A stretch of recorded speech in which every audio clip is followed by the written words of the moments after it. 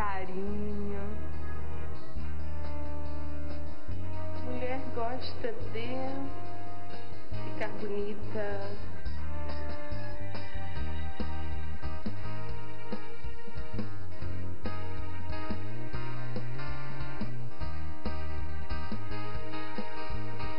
A gente quer ser feliz.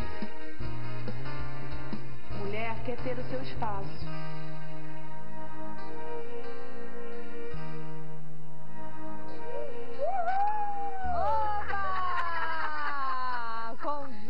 Mulher, esse programinha é tudo de bom! Colorido, feliz. Colorido, feliz! O lápis de cor explodiu! Parecendo- Nem de pires parecendo com seu, com seu colar né? Essa coisa mais linda, poder! Olha, todo mundo cantando Nem nada, Jó, nem. Jó e toda a sua... Não, Não, foi nem Salomão. Salomão, meu Foi Deus céu. Nem Jó na luta dele se vestiu igual assim. Não podia mesmo, tá? Não podia, tava com tempo. Tava difícil, né? Tava salgado naquela hora. Essa é Tava salgado, tava salgado. Neide Pires, muito obrigada por você estar aqui com esse Muito bom estar aqui nesse ambiente alegre, descontraído, né, Olha isso. Olha o lápis de cor, explodiu. A caixa de lápis de cor explodiu ali. Mas vocês bom. são muito queridas, gente. Joyce. Gente, a gente vem pra cá já com uma expectativa em Deus tão legal. Deus já vem ministrando o nosso coração É no carro. A gente É. já vem naquela expectativa em Deus, porque a gente sabe que o Senhor vai falar com a gente, né? E espero que seja uma bênção. E vai ser em nome de Vai, Jesus. não. Amém. Sim. Pastora Luciana com a gente também. Muito bom. Muito bom estar aqui. Tão delícia tê-la aqui. Legal, legal demais estar aqui. E pastora querida, Pastora Gisela. querida. Sabia linda, maravilhosa. Olha, De listra, discreta, essa tá? discreta. Jogar uma cor aí. Tchau. A Joyce está com o poder da cor hoje, gente. Mas o assunto de hoje, nesse programinha, nessa conversa de mulher de hoje, no nosso espaço feminino, é sobre mentiras. Esse não é aquele programa Ui. Ui. Tem programa aqui que é Ui. Mas esse programa é um programa muito importante da gente conversar sobre isso, né, pastorinha? É um programa libertador, né? Despedir das máscaras que a gente às vezes põe, depois esquece, elas fazem até parte da gente, assim, né? É. Mas que é libertador a gente perceber esse caminho, né? Não entrar nessa rota, que é laço, chuta que é laço. Isso! Né? Essa, essa ideia da gente conversar hoje sobre esse assunto, mentiras, é porque a gente precisa é, pensar que a mentira muitas vezes ela não, não está numa frase colocada no- nos lábios, ela está num estilo de vida. Com certeza. Né? Com certeza. Porque, na verdade, é, eu estava comentando com a Joyce agora há pouco, né? Eu vivi uma experiência assim na minha adolescência. O, o meu estilo de vida era mentir. Por uma situação emocional que eu queria tá, me, me sentir aceita, é, bem-vinda. é, eu me reinventei numa mentira. E, e foi exatamente assim. Foi uma coisa que, já no final da, da história, um ano e pouco depois, eu não sabia mais direito quem era a Luciana. Porque a, a Luciana que eu inventei para ser aceita era completamente diferente daquela pessoa que eu realmente era. E como a pastora Gisela, Gisela falou, a questão é que você entra num cativeiro. E quando você, é, o poder de Deus entra, e de- entra de várias maneiras, e você se deixa ser liberta, aí realmente a, a questão é libertadora. E eu vivi isso na minha vida. Muito legal, muito legal. Joyce que canta por aí, adora o Senhor por aí, que vê muita coisa, né? É, sabe que muitas vezes é, isso se torna uma, uma questão para as pessoas que é preciso que é, que é cantado e ele não passa pelo coração, né? É como o Senhor coloca ali ah, no livro de João, o Senhor fala assim, esse povo, ele me honra com os lábios, mas o coração está tão longe de É mim. verdade. É, importa, diz o Senhor, que seus adoradores o adorem em espírito e em verdade. E não em espírito ou de quê? Que espírito com letra minúscula e mentira. Não é isso, é em verdade. Então essa questão da, da, adoração é algo tão sério. Primeiro, você só adora aquilo que você ama. Então, existem pessoas que têm vivido na mentira porque realmente não amam ao Senhor, não têm tido esse, esse, essa entrega ao Senhor, não têm tido essa experiência de realmente conhecer ao Senhor. E assim, o bom é que sempre vai haver uma chance de retorno. Ai, glória a Deus. Amém. É por isso que a gente está aqui, para pensar isso, né, Neide? Isso que é lindo, amiga. É, claro. Porque a gente vê em, várias igrejas, a gente está comentando, né, pastora? igrejas algumas que, se, que a gente vai, ah, a igreja tem tantos membros, ah, eu vendi tantos CDs, tudo mentira. é. né? Então você quer passar uma coisa que não, não é. E, e as vassouras vendidas por aí, que são vassouras que é, eh, limpam o ambiente da sua casa. Meu Deus do céu. A minha amiga pensou que era dia de mutirão na igreja quando não, ela Não, não, vassoura, vassoura, ungida. a vassoura. Ungida. Eu ouvi dizer que a vassoura custa mil reais. Jesus. A vassoura que tu compra e tu vai à tua casa, aquela vassoura que foi santificada lá não sei aonde, e aí o negócio fica limpo e tal. Olha, olha só, aí. É. Aí, entende? Isso Sim. é uma mentira. É, mentira. É verdade. Isso está longe da Bíblia. Longe Tantas coisas, né, Neide, que estão sendo colocadas aí que por, pela, pela distância da palavra de Deus a gente acata e essas coisas não são verdade, porque não foram conferidas biblicamente, então as pessoas acabam caindo nisso. É hora de acordar, né, Neide? Verdade, agora, a gente também, quando a gente está falando das pessoas caírem e acreditarem, porque não conhece verdadeiramente a palavra, né? A única forma da gente não cair nessas mentiras, né? É conhecer, ler, buscar a palavra que é acessível a todo mundo. Sim. Né? E aí hoje a gente vai estar conversando sobre isso. Espero muito que você fique aqui com a gente uhum. e pense sobre tudo isso com a gente, que hoje você esteja vivendo aí a metanoia, né? essa mudança, essa mentalidade, que você tenha a mente de Cristo. Essa semana, nós abrimos a semana com a palavra sobre motivos para agradecer a Deus. Muitos motivos durante essa semana temos vivido é, para, para, essa, para, para viver com essa qualidade de vida que é a de um coração grato.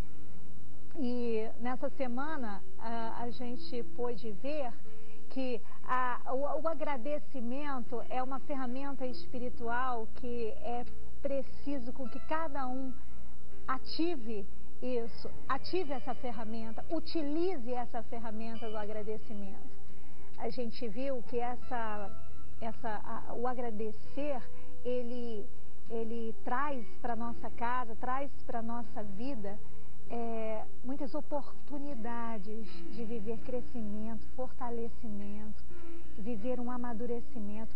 E o coração agradecido é um coração que reflete relacionamento com Deus. Porque a gratidão, ela, ela não é só um, um, um dia ou dois, ela é um estilo de vida, né? E a, a, essa semana a gente procurou pensar muito no, no quanto agradecer, muitas vezes fica está se tornando algo assim distante, porque a gente está muito pedinte, né? Eu quero, eu quero, eu quero, eu quero isso, eu quero aquilo, eu quero aquilo, eu quero aquilo. Deus se determina para Deus. Deus eu te determino, tem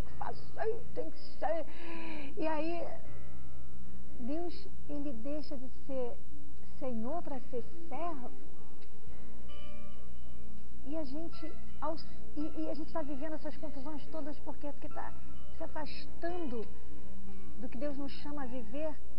E Paulo, ali quando escreve na carta aos Tessalonicenses, ele fala que a, sejam agradecidos porque essa é a vontade de Deus. Então, assim, a gente se afasta dessa vontade de Deus em troca de quê? Em troca tantas coisas que hoje precisam ser revistas na nossa vida. A gente precisa estar se dando conta que a gratidão é necessária na nossa vida, que a gratidão é importante na nossa vida, que o fato até de eu querer alguma coisa e pedir a Deus alguma coisa, me antecipando em agradecer, já mostra o relacionamento de fé que eu tenho com Ele, porque, porque gratidão é isso, é, é, é vida de fé, é agradecimento porque você sabe que você sabe, porque você quer, porque crê que Deus é fiel para fazer infinitamente mais do que você pediu, do que você pensou, do que você imaginou. Aí você vê ali Jesus diante do túmulo de Lázaro, Lázaro morto há quatro dias, tudo encerrado, ponto final, uma pedra lá na, na, no túmulo, acabou a conversa. Aí Jesus chega diante da pedra, diante do corpo morto, diante de todas aquelas pessoas todas ali, incrédulas. Ele olha para o céu e diz assim: Eu determino, Deus, faz isso agora, senão o negócio vai ficar feio pro teu lado. Não, não, não, não. Ele olha para o céu e diz assim: Pai, eu te agradeço. Ele nem pediu. Lá, pai, ressuscita Lázaro. Não, não, não. Pai, eu te agradeço. Olha, olha a, o agradecimento refletindo o relacionamento com Deus. Eu te agradeço porque sempre me ouviste. Sabe, o lar de quem agradece é um lar fortalecido. Eu tenho dito isso aqui durante essa semana. Pais agradecidos geram filhos animados, corajosos, resistentes à frustração. Pais agradecidos geram crianças livres, com a natureza cheia do próprio Deus, com a natureza de Deus. Pais agradecidos refletem o próprio Deus e mostram o próprio Deus a seus filhos. Pais agradecidos, eles colocam a sua casa num patamar de saúde muito grande. Eles trazem à sua casa saúde em todas as áreas. Pais agradecidos têm saúde financeira, saúde espiritual, saúde emocional. Pais agradecidos são pais que agradecem a Deus e sabem agradecer a seus filhos, sabem agradecer as pessoas, sabem reconhecer as pessoas. Agradecer é muito importante. Salmista, refletindo o seu relacionamento com Deus através do, da gratidão, ele diz assim: Olha, eu te agradeço. Sabe por quê, Deus? Porque o Senhor é que mudou o meu choro em dança alegre. Eu estava chorando, mas não vou ficar aqui no meu choro, não. O Senhor é que fez o meu choro virar uma dança alegre. Sabe, mexeu o esqueleto, tira o pé do chão. Pois é, afastou de mim a tristeza e me cercou de cânticos de livramento. Por isso, não ficarei calado. Calado não. Calado não, porque o grato, ele não fica calado, ele sabe dizer: Eu te agradeço, Deus. Eu te agradeço. Cantarei a Ti, ó Senhor, Tu és o meu Deus. Eu até compartilhei com você, essa semana, eu orei sobre uma coisa não aconteceu como eu orei, como eu pedi. E no momento em que né, é, aquela, o que eu pedi não aconteceu, eu fiquei um pouco querendo, querendo ficar um pouco assim, querendo ficar um pouco assim, a minha alma querendo dar uma de, de poderosa, e aí no meu espírito, cheio do Espírito de Deus, trazendo a essa alma a direção que ela precisava, trouxe as minhas emoções, aos meus pensamentos, a seguinte direção: agradece. Agradece, não precisa ser do jeito que você quer. Deus tem bom gosto, Márcia. Agradece. Agradece, te fortalece nisso. E aí o Senhor mudou. Mudou minha tristeza, meu choro em uma dança. Deus é fia. Deus é fia. Agradece, amiga. Agradece. Não para de agradecer. Assim como você não para de crer que Ele é fiel e está cuidando do que você não pode cuidar. E está fazendo o que você não pode fazer. Você está aí? Ele está agindo. Ele está fazendo. Ele está indo lá naquela célula, ele está indo lá onde aquele documento está imóvel, parado, e você não pode fazer nada, mas ele está lá fazendo tudo ficar cooperando a teu favor. Agradece, agradece. Vamos agradecer? Está aí no vídeo a nossa oração. Pois é, Tu mudou tudo. Querido, tu mudou o nosso choro numa dança muito alegre. Tu afastou a tristeza e nos cercou de cânticos de livramento, de alegria. E é por isso que a gente não vai ficar calado, Pai. Nós vamos te agradecer. Tu és o nosso Deus. A gente diz isso com a boca cheia, o coração vibrando. Nós te daremos graças para sempre, não é só agora não, é para sempre, porque essa gratidão se tornou o nosso estilo de vida. Querido, nós te agradecemos. Nós estávamos nas trevas, tu nos transportou para a luz. Nós estávamos no, embotadas e tu nos trouxe a vida. Nós temos o teu cuidado, nós te agradecemos porque temos o teu cuidado. Tudo está tão frágil nesse mundo, tudo está tão inseguro nesse mundo, mas tu és a nossa rocha eterna, a firmeza da nossa vida. Está tudo tão duvidoso, mas tu és a nossa certeza. Tudo é tão fluido, tudo é tão insípido, tudo é tão frágil. Tu és a nossa força, o nosso vigor, o nosso ânimo. Tu és suficiente, Jesus. Jesus, tu és suficiente para essa mãe, tu és suficiente para essa esposa, tu és suficiente para esse casal, tu és suficiente mais que uma casa, mais que um, um contrato, mais que um, um, um, dinheiro, um carro ou qualquer outra coisa, tu és suficiente, Jesus.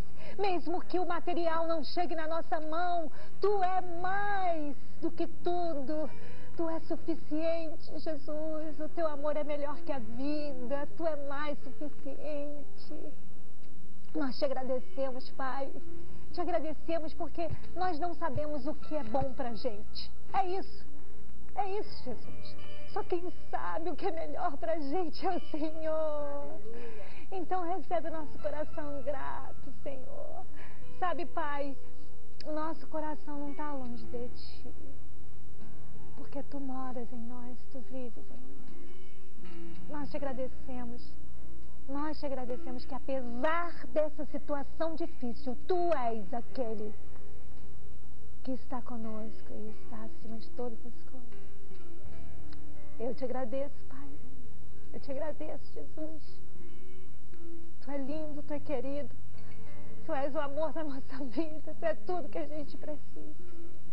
Graças te damos, Pai.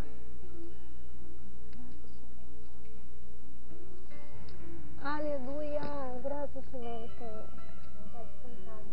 Por quê? Libertar e salvar, por ter morrido em meu lugar te agradeço.